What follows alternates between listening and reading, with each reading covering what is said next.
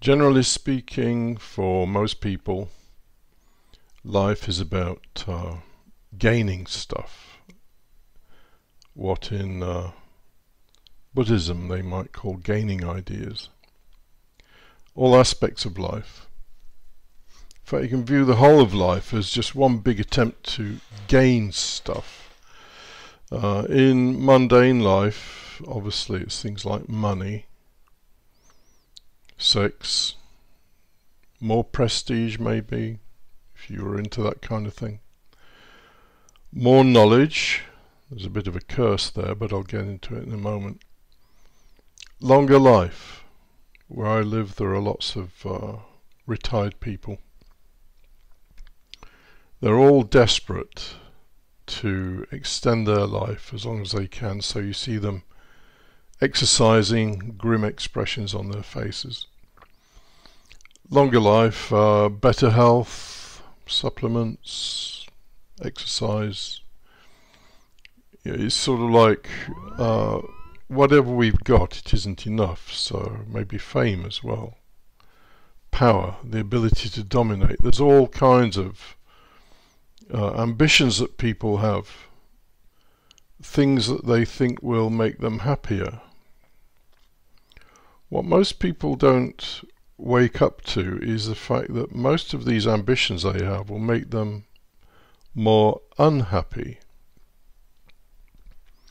Because believe it or not, generally speaking, you know, short of a dog trying to rip your leg off or uh, not having any food, life is pretty much okay as it is. Um, it was Epicurus who said that uh,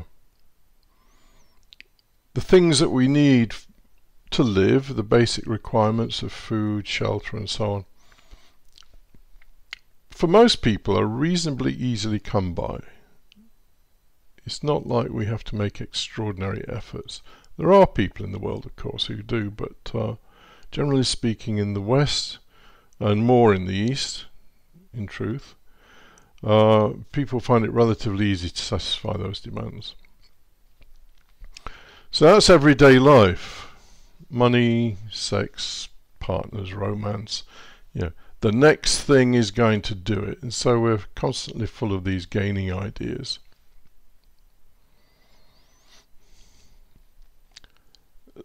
Along with these gaining ideas go obviously goes ambition and expectations. These are the things that will ruin your life. anyway, um, the more dangerous kind of gaining ideas are associated with so-called uh, spiritual pursuits. As I've said many times, the word spiritual doesn't really seem to mean anything. If you ask for a definition, then spiritual might be of the spirit, and you say, well, what's spirit? Oh, well, we don't really know. Um, if you were to speak to a spiritual person and say what is spiritual, I'm sure they'd have some kind of definition that they'd come out with, but in reality, it doesn't mean anything. And in fact, you can see, you can view so-called spiritual pursuits as the most wicked thing ever introduced to mankind because what is as soon as somebody's talking about enlightenment or salvation or inner peace what happens well the person who hears that then wants those things? They become dissatisfied with their life as it is. So spiritual people what are their gaining ideas? Well they've got more and of greater intensity than your average joe. So, maybe they want enlightenment, salvation. Uh, they, they might just want to be more spiritual, whatever that means. Maybe there's some kind of competition going on with other spiritual people. They want to be calmer, more in a peace, maybe to exercise loving kindness. All these things they load upon themselves. At the end of the day, it's just an ambition to achieve these things. Taking them away from what they are and what's real. I'll have a quote from U.G. Krishnamurti in a moment to uh, to add to this. But maybe they want to be a better person. Never, ever, ever try to be a better person. You don't know what better means anyway. Uh, you should never, ever make an attempt to improve yourself. You don't know what it means to improve yourself. Of course, there are lots of spiritual people who will tell you what it means to improve, improve yourself to be more conscious, to be more loving, to be more generous, maybe, to have more gratitude, to be more peaceful, have more loving kindness. All of these things that ultimately make people unhappy. They make them unhappy because they're ambitions that cannot be satisfied because the things that people are chasing after um, have no real substance anyway. So, the secret to a, a better life, really, is to drop your gaining ideas. And of course, what happens? Well, we now have an ambition to drop our gaining ideas, an ambition to end our ambitions. The problem with the mind is that it always, or nearly always, creates dualities for us. So ambitions, lack of ambition, both in a way are um, things that are ambitions. You know, to ch go chasing after lack of ambition is to have another ambition. Just like to try and um, diminish your desires is to have another desire. The old Buddhist thing.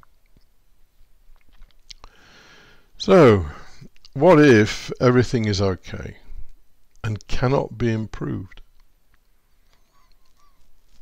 I'm not talking about you know the dog ripping your leg off. You know, kill the dog or something, or you've got no food. Well, try and get some food, or the roof is leaking, well fix the roof.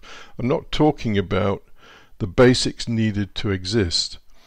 I'm talking about all the ancillary things that we pile upon ourselves enlightenment, salvation, karma, inner peace, loving kindness, all that stuff. Um, in the expectation that somehow we're going to be happier. And there's another thing we go chasing after happiness. If you want to be really, really unhappy, go chasing after happiness. So, um, what if everything is okay?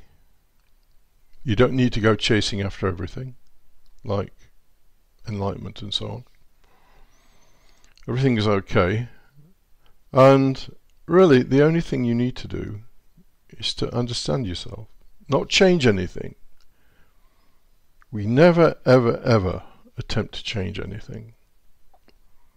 So, what if you just need to understand yourself. Why do you get anxious? You know, we're, so we're talking about real things that happen in your life.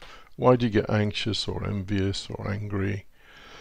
Um, why do you go chasing after things? Just to understand ourselves, never to try and change it. So our emotions, our desires, our thoughts, just observe them and understand them. That's all that's required. I'm kind of um, understating that in a way because to come to an understanding of yourself and to be non-judgmental is a very very big thing most people are horribly judgmental uh, not only of other people but of themselves you know oh uh, I'm always getting angry or uh, oh, I can never do anything right. They have all this stuff. You know, very often it comes from childhood. You know, so we need to understand this stuff because we don't want to live our life in emotional pain.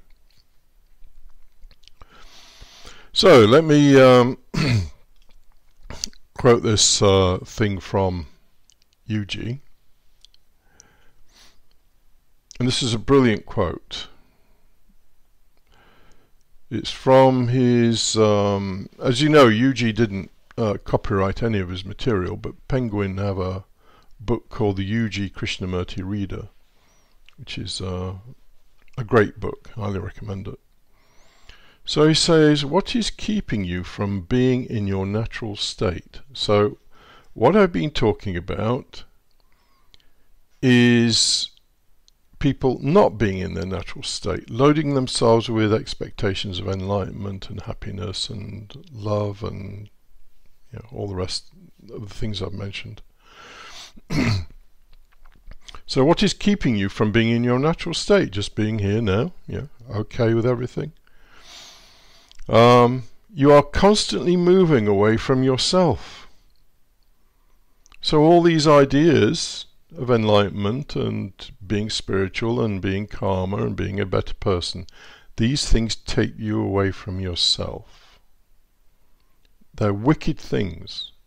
Spiritual people are the most wicked people on this planet because they take you away from yourself with a whole pile of mumbo jumbo that cannot add anything in truth. So you're constantly moving away from yourself. You want to be happy either permanently or at least for this moment. You are dissatisfied with your everyday experience and so you want some new ones. of course you're dissatisfied. A whole pile of spiritual people have loaded you up with expectations of eternal bliss, nirvana, um, perfect peace, and so on. You want to perfect yourself, to change yourself. You are reaching out, trying to be something other than what you are. That is almost the most fundamental of, or the most fundamental error or trap that we can fall into. Trying to be other than what you are. You're fine as you are. All you need to do is understand what you are not change it. You are reaching out, trying to be something other than what you are. It is this that is taking you away from yourself.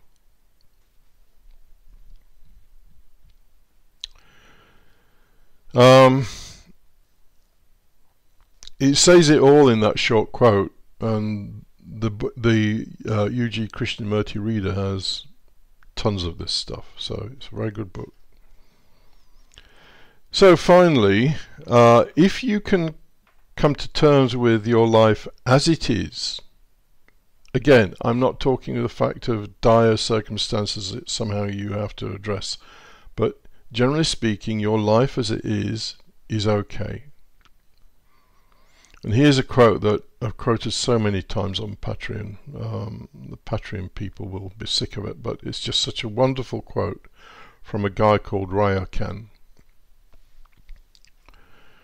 Too lazy to be ambitious.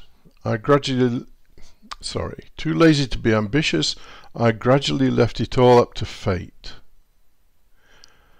In the sack, three handsful of rice. By the stove, one bundle of firewood. Who cares about delusion and enlightenment? This guy was a Zen practitioner. Who cares about delusion and enlightenment? You shouldn't, I don't.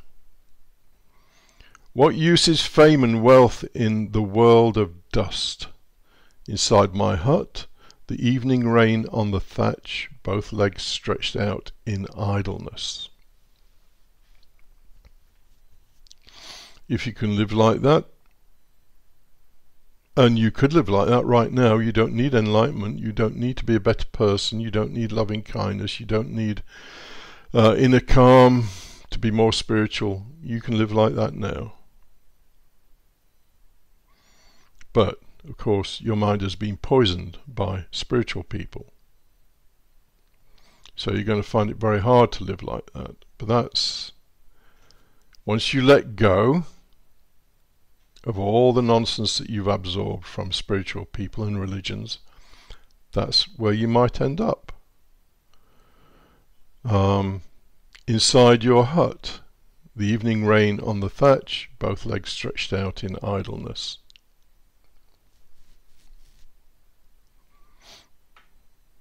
So, there's nothing to gain, but to drop gaining ideas is not simple and certainly not easy. But, you know, we just practice gradually, gradually, gradually over the years. And eventually, maybe we come to a point where we've pretty much dropped everything and we can just lay with both legs stretched out in idleness. There's nothing more perfect.